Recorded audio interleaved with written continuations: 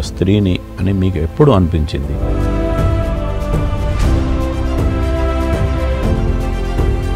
అమ్మాయిల పనులు చేసేదాన్ని. అమ్- అమ్మాయిల గేమ్సే ఆడడం ఇష్టపడేది. అమ్మాయిల డ్రెస్ అంటే ఇష్టపడేది. ఎక్కువగా అమ్మాయిలతో ఫ్రెండ్షిప్ చేసేది.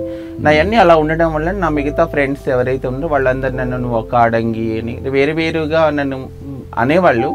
బట్ అదేంటో కూడా నాకు తెలియదు.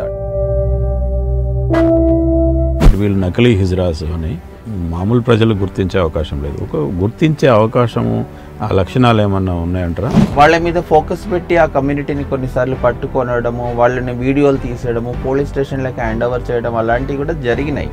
ఆ జరిగిన టైంలో కూడా ఇప్పుడు అంటే ఎవరిని తప్పు పట్టము కానీ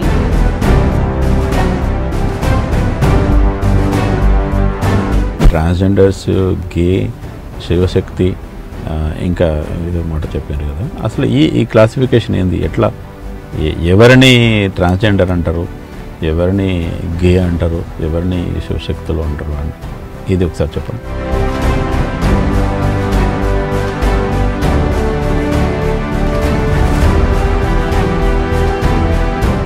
చాలా మంచి ప్రశ్న అడిగారు సార్. ఇది చాలా కన్ఫ్యూజన్గా ఉంది.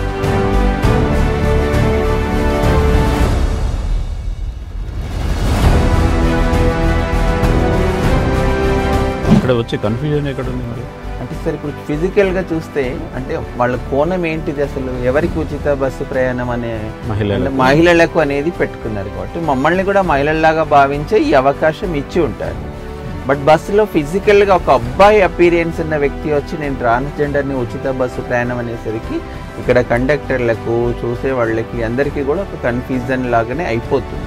ఇంకా సొసైటీలో ఒక ఒక అబ్జర్వేషన్ కూడా ఎందుకు ఈ మధ్యకాలంలో చాలా ఎక్కువ మంది అంటే ఈ ట్రాన్స్జెండర్స్ ఎక్కువ అవుతున్నారా? వాళ్ళ సంఖ్య చాలా పెరుగుతుందా?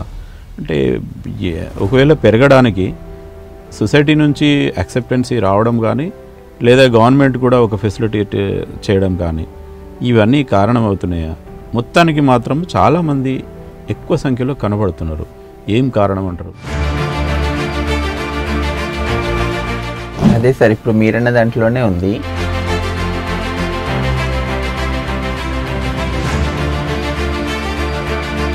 మీరు చెప్పండి.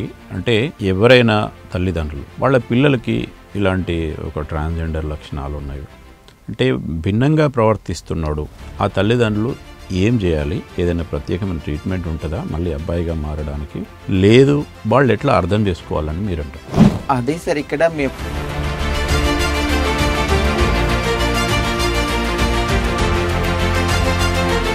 ట్రాన్స్జెండర్లు అన్ని రంగాలతో పాటు రాజకీయ రంగంలో కూడా చాలా ప్రవేశం ఉంటుంది.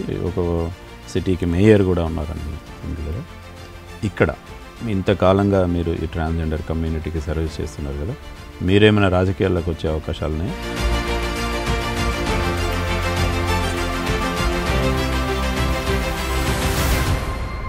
అంటే రాజకీయం అనేది సార్ అక్కడ ఏదో పదవి కోసమో హోదా కోసమో ఇంకేదో అనుభవించడం కోసం కాదు కానీ ఖచ్చితంగా రాజకీయ రంగంలో కూడా మేము ఉండాలనుకుంటున్నాం.